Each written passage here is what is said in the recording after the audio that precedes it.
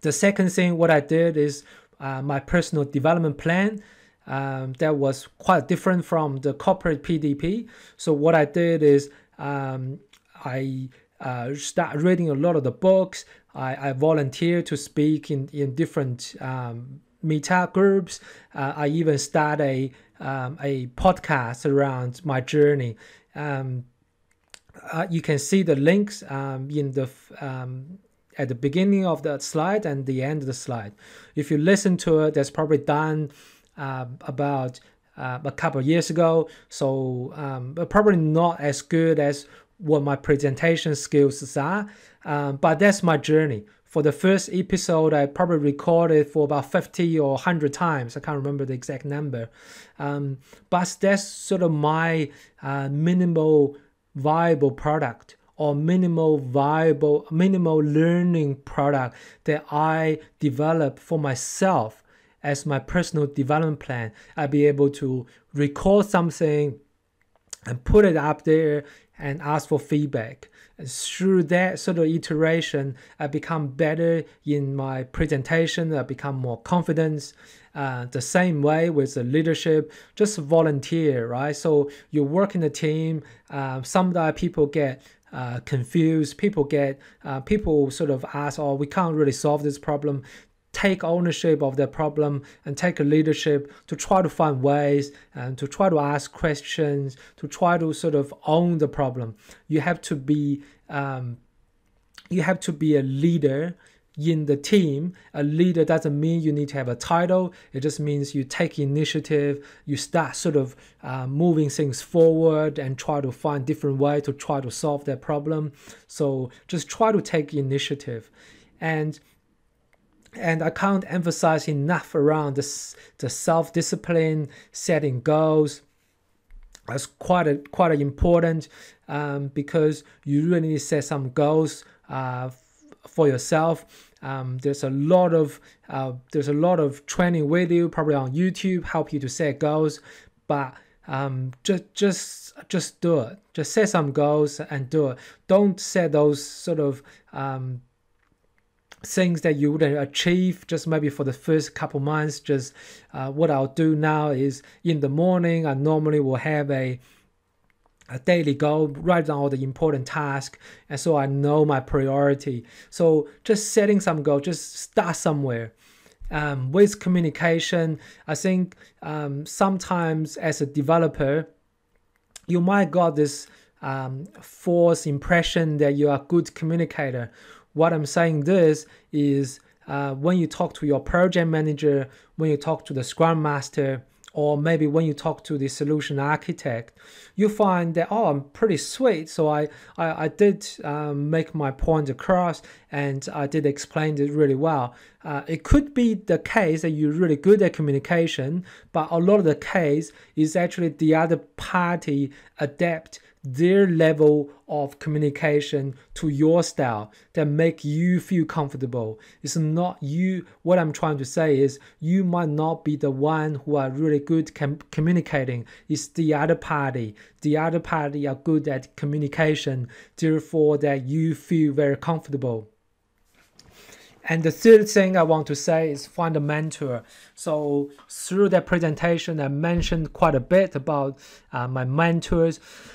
I don't really have a a mentor per se. A lot of my mentors are my previous managers. I just build a really good relationship with them. I regularly having coffees. I ask um, I ask sort of um, how they actually made um, where they are and I ask them to see if you or me what you would like to do. So just start networking, start uh, building that relationship with your pre- previous manager or with the people you trust in that industry. Start asking questions. Um, it doesn't have to be a formalized mentorship. It could be just a, a coffee um, okay, the next thing is the networking event. This is the key thing, I believe. Uh, a lot of people relying on the social media. That's cool, but um, what I want to emphasize is social media making easier for you to ask for face-to-face um, conversation. Use social media as a tool so that you can connect to the industry leader so you can ask them for face-to-face conversation to ask them how you get there and what are their struggle what they're learning um, how you, they might be able to help you to to step up um, in your career. So i think that's quite an important thing. Um, another thing you can do is just volunteering to take more responsibility. Um, um, if you read a lot of those uh, leadership books, you will understand that you shouldn't wait until you get a title to sort of take initiative, to take more responsibility, or you shouldn't have the mindset that I only get paid this, or never going to work uh, extra hours, or never going to work uh, with more responsibility unless they paid me more. Um, I think you should need to shift your mindset to say, I want to um, take more responsibility now so I can get promoted, so I can have the opportunity to apply for a, a, a role. Um, you can also uh, for some certification, but I believe, um, as I mentioned, with the IT world changing so fast, um, you shouldn't focusing too much on that certification. If the company willing to pay for the training, if the company willing for pay a lot of the material, I'll suggest to go. But um, use it only as a um, sort of attitude thing you, you can if you don't have the experience if you don't have the skills at least you show that um, you have a good attitude. I, I really want to get this role. I went to that certification. But certification without experience it just paper certified. Is pretty much useless. Um, so here is basically what I described before. You need to increase your technology breadth. Um, so have the T-shaped um, um, sort of uh, uh, skills. Um, this will really help you to uh, to become a solution architect. Um, mention about the communication. Uh, what I did is I read a lot of books and attend different trainings. Um, you can even try to go to some of the non-technical networking events. Talk to the HR person, the marketing person, the salesperson, uh, because when you become a solution architect, you're going to talk to those sort of stakeholders. You really need to understand what what their language, what what keep their uh, awake at night, what their key concerns. So that's quite a crucial as well. Um, you can even start a podcast or YouTube channel. Um, I'm sort of on that journey. I believe this is sort of um, I can find a bit of time that um, when my kids are in sleep or I don't really have much to do, then I can I can I can um, record something. Um, as part of this, I can share some of the um, the knowledge, and hopefully that'll benefit the audience. But the benefit for me is um, I'll this is another minimal viable product or minimal uh, learning product for me. So I'll be able to record a video or record a presentation, record a podcast that continues improve myself. And uh, once you got some podcasts and YouTube, then you build your confidence, then you can volunteer to speak at user group. Um, the last thing I use a lot is buy people a coffee, right? Um, I learned so much by uh, for five dollars. So I, I, just buy people a coffee and ask a lot of questions. A lot of the mentoring I done that way. People didn't realize they mentoring me, but I bought them a coffee. You can even ask for the extra hot so that they can stay a bit longer. And you can just as a way to ask questions. Um, if you think about it, um, if you want to um, become um, if you want a role or if you want to become uh, successful, you find that people who already done it and you just ask them how to get there, you will cut your learning curve dramatically. And the leadership, I quite like the John, Max, John Maxwell five lead, five level of leadership. I mentioned previously around um, sort of you don't need to wait. You have the position to take uh, a leadership role. In fact, that's the lowest level of leadership is people follow because they have to. So if you don't follow them, you might get fired. And that's the lowest level. And the next level is permission. So people follow because they want to. So you start making connections. You start buying coffee with people. You start understanding what their concern is. You start showing your understanding. Therefore, they want to follow you. They really, you really show them. You really understand them.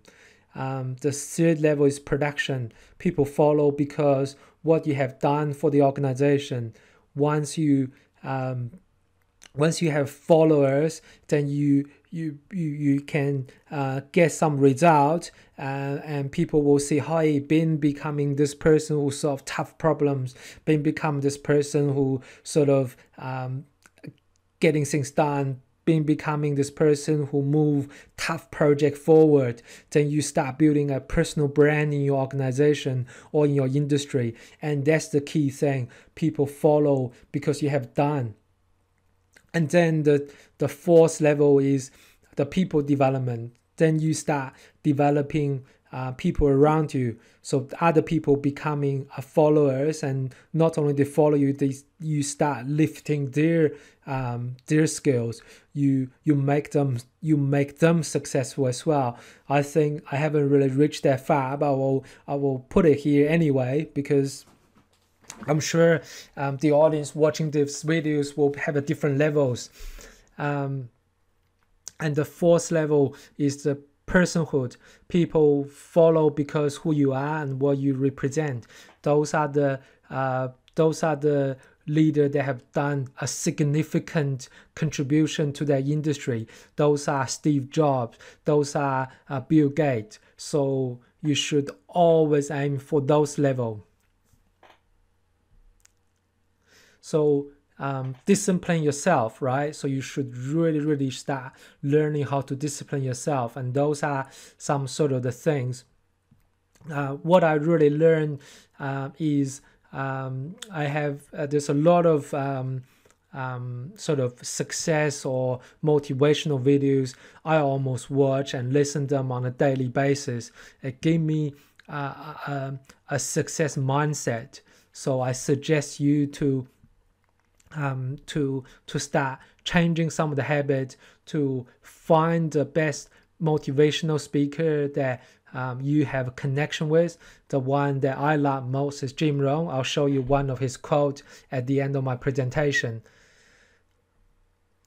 Um, here is why you need to find a mentor, right? So if you begin only by trial and error, that you limit the, the, the level you you you can succeed. If you actually have a mentor that he can share a lot of the mistakes he made uh, therefore you can avoid them. I think there's a saying called people learn from mistakes but successful people learn from other people's mistakes. So um, we all know we learn from doing taking action and uh, and and the mistakes we made but it doesn't necessarily mean that we have to learn everything from the mistakes we personally made. It can be others' mistake. That's the key thing. Find a mentor, learn what the mistake they have made so you can avoid them. Um, here is the law of 33%. Um, I learned this from uh, Tai Lopez TED Talk um, he explained this. I find that really, really useful. Uh, what he what he means is you should spend a third of time to to um, hang out with people that are above you because when you hang out people that's more successful um, just sort of above your level then you normally feel quite uncomfortable but you you do need to hang out with them ask questions therefore you understand how you can improve yourself you should always spend another set of time to people that at the same level. I believe we should we spend way too much time to uh, spend time with people of the same level. I think you should cut down some of that. Um, another thing you should try to do is you should try to spend another third time to people below you you should start sharing some of your journey, your learning. You start men, you need to start mentoring um, other people who want to become your position. you learn different things. You will learn far more things um, than you just read a book. Just um, become a mentor so you can mentoring others. I think that will help you a lot in your career as well. Um, here is some of the tips uh, for you to find a solution architect job. Um, you should start networking with other with other architects. Uh, in New Zealand, we got the meetup, different meetup groups. Um, you can also uh, join uh, our uh, sort of Facebook group, Solution Architectural uh, Facebook Facebook group that was either in the front of the presentation or the end of the presentation.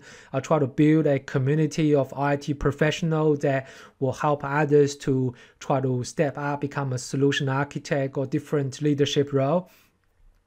Um, another thing you can do is you, you can volunteering to take more responsibility and buying a coffee is quite a, a an important thing for you to do. Um, certification I mentioned before. Um, another thing I want to emphasize is don't give up right so if you know that you want to become an architect you're going to experience challenges experience different sort of um, uh, obstacles, um, just stick with it.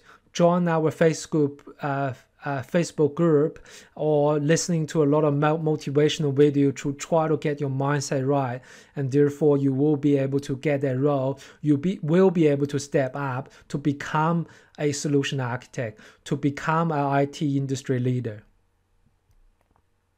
So here are some of my uh, recommended reading. So I, I, I reading a lot of their books. Um, you should start some of the readings. If you're not, if you don't want to read the paper book, um, you can. Um, there's a lot of videos or there's a lot of uh, audible books and and summaries, book summaries.